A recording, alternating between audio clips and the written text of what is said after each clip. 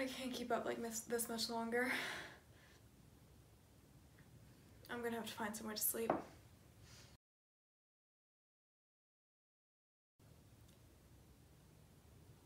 I I guess this place was abandoned after the war. So close to the Mason-Dixon line, I'm sure whatever side they were on had something going on. It's not a great hiding place. Grudges and all. Mm. Well, this place is truly a mess, but they left some bread and I have I have ham. So, breakfast it is. Who is that? Who's there? How dare you enter my house? I'm getting my gun. Out. Well, well that can't be good. Um, Come here. Show yourself. Please. Please come here. I need help. oh, oh my goodness. Are, you- are you okay? Let's sit you up. Okay. There you go. Um, what's what's your name? It's Officer John Lovingood. Blue coat. You must be a Union soldier then. Ex soldier. Why? Do you have a problem with that? no. What? No. Um, hmm. The Union Army is amazing, and um, it was a great end to an awful war. Yeah. This is so great. Lying on the floor for a week. Alone.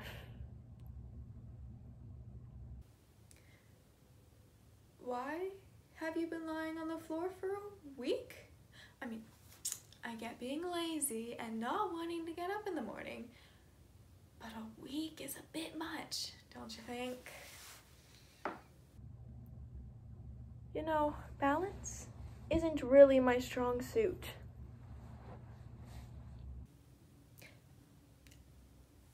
Yeah, yes, well, uh, I see that now. Sorry. Do you have any crutches? I have a wheelchair. It's somewhere over there. A wheelchair? You have a good leg. Why are you using a wheelchair? Maybe if you had crutches, you'd have an easier time getting things without falling. Oh, hardy har har. At least I'm not breaking into other people's houses.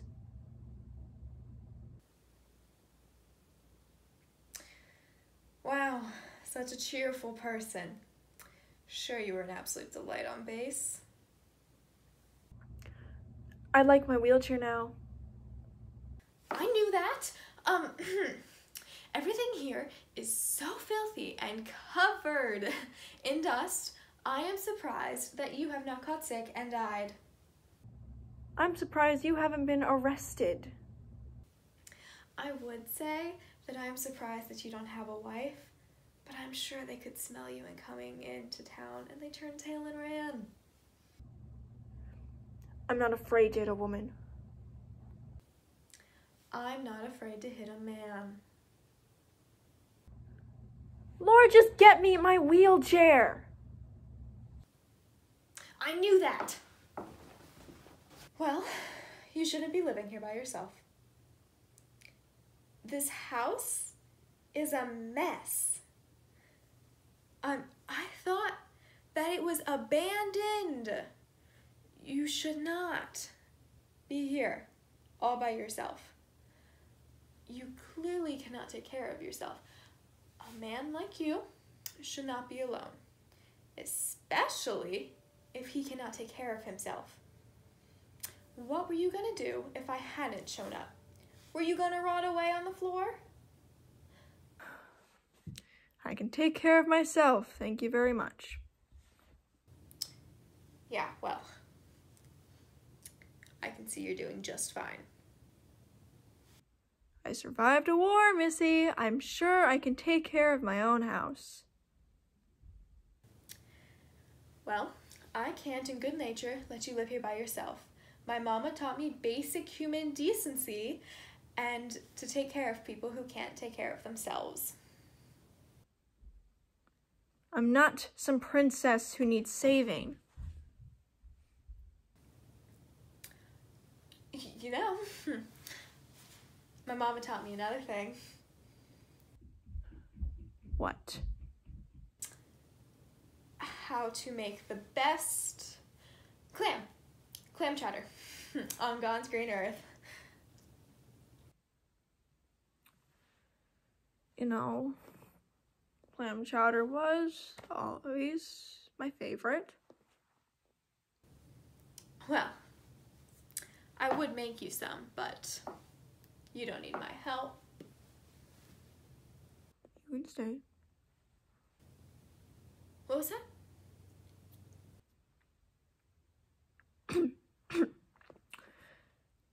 You can stay. I'm sorry, sir. I can't hear you. You know how it is. You get older and things get harder and harder to hear. You can stay. Sounds perfect.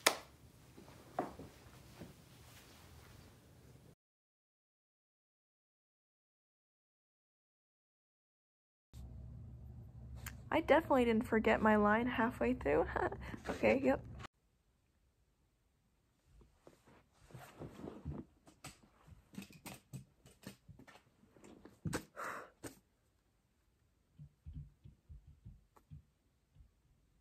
She's a grayback. A Confederate?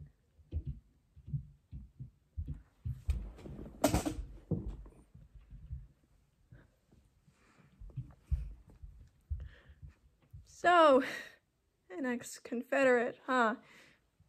You're not gonna go wrecking my house and stealing my things now that you've got nothing, right? Oh, no, no, of course not. Um, well, you see, You know, now that I think about it, I haven't seen a Confederate in quite some while. What are you doing here? Out of all of the houses in the South.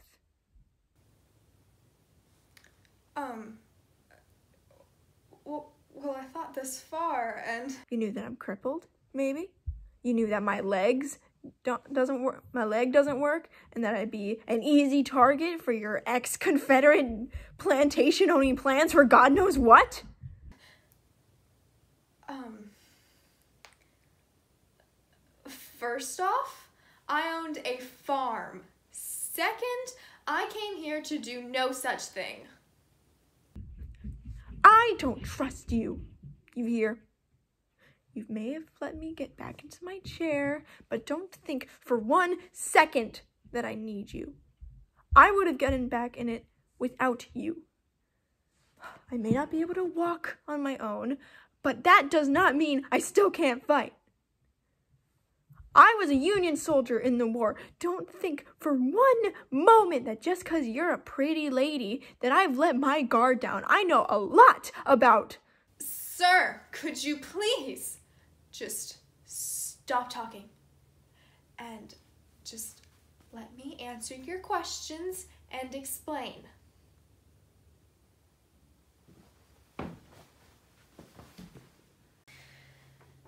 Thank you.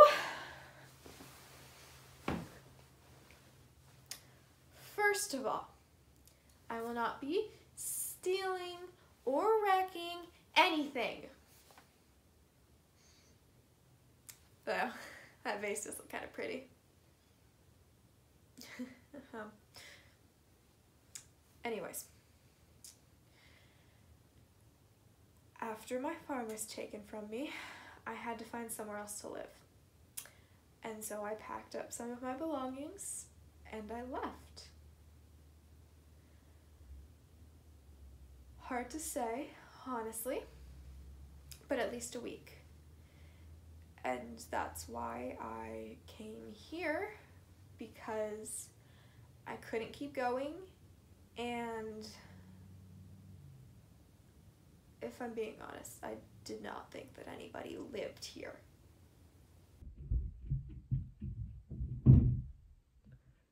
Yeah, well, I try to make it seem uh, uninviting on purpose so people don't stop by, but that failed, clearly. Oh, please, you don't mean that. Why wouldn't you want to surround yourself with people? That's that's not important. Just finish your story. Okay. Um Okay. Um, I simply came here because I needed a place to stay.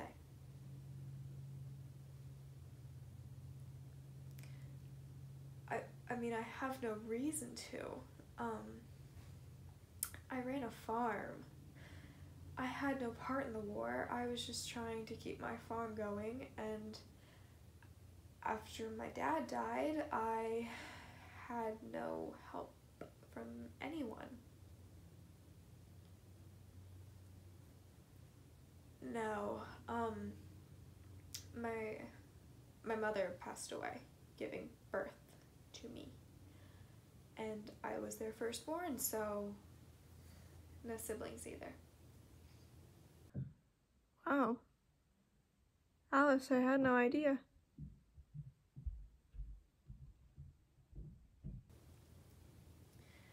Well, you didn't give me a chance to explain myself. that that farm was my everything. And it was the last bit of family that I had. And when it was taken from me, I had nothing left.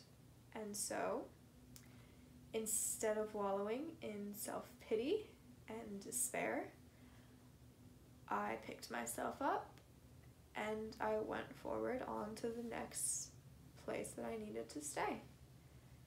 And that's what brought me here. um, I hope I answered your questions. Um, your tea is cold. I'll get you. I'll get you a new one.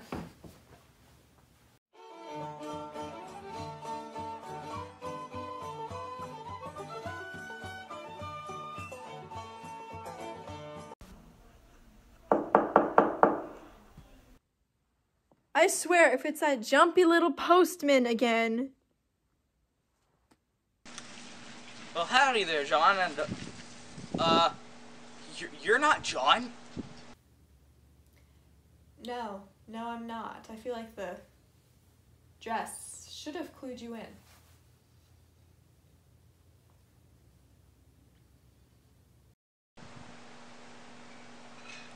My apologies, ma'am.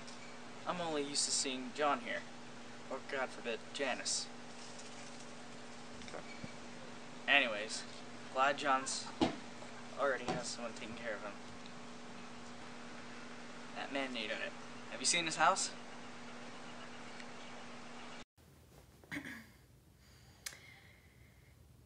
John, um, that postman, he mentioned someone named Janice. Um, name and ring any bells?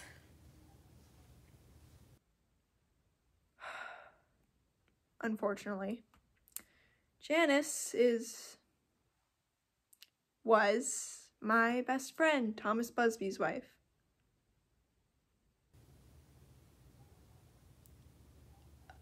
Was? What happened? War. Uh, we served in the 15th West Virginia Infantry, and he gave his life to save this country. Oh, I'm sorry. Don't be. Janice was more than thrilled to hear that he was gone and started making advancements on me. So that's why I'm out here to avoid all that.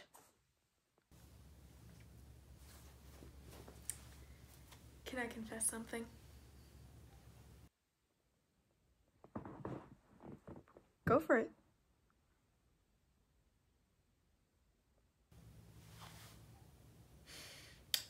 I can't make clam chowder. What?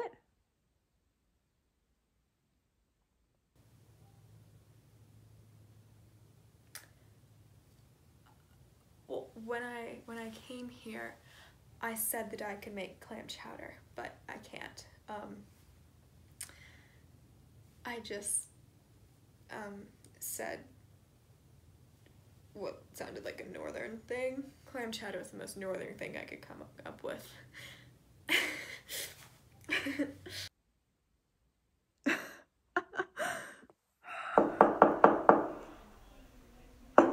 Don't don't answer it. Good lord, what is it now? Ignore it. Do you think it's.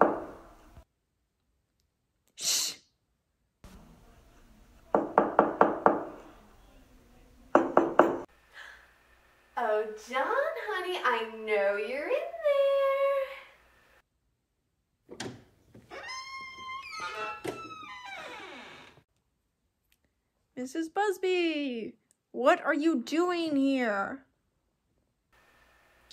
Firstly, I'm not Mrs. Bugsby anymore, although I could be Mrs. Lovingood if you just allow it.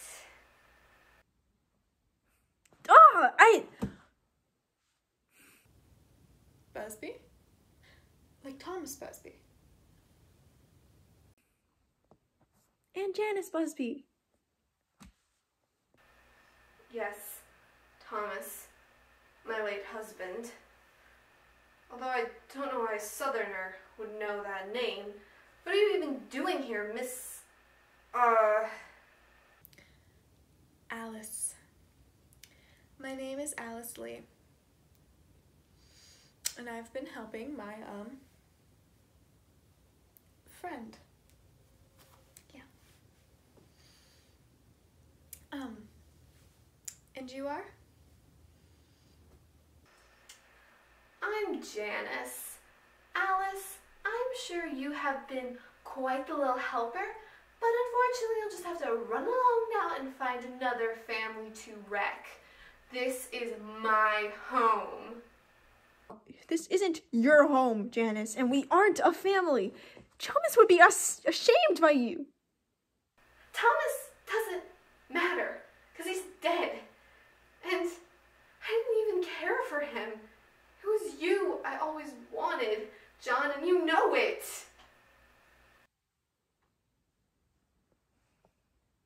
No, no, you know what? If you want to be my caretaker, at least know how to make good pasta. Like, oh my gosh, you use those stupid pasta noodles with no ridges, and the, the, the noodles, like, they don't even stick to the sauce. They don't even stick to the sauce, so when you eat it, it just tastes like disappointment. It's disgusting, Janice. It's gross.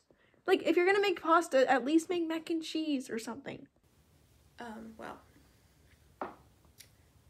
Listen, listen, okay?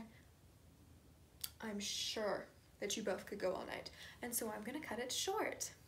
Janice, clearly nobody wants you here. I think it's time for you to leave, and I am here to help and to care. And truly, I don't think you're right for that job.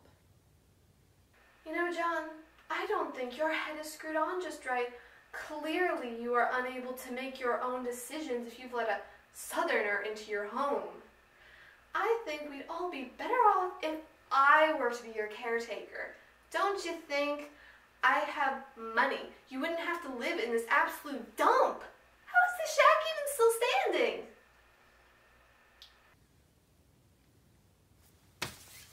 Last warning get out. Fine. Sorry, John. You've lost your chance. Go. Okay, fine. I'm going. I'm going. Jeez. I'm so sorry about her. You think she'll be back? Probably not. I think you scared her off with a gun. Good.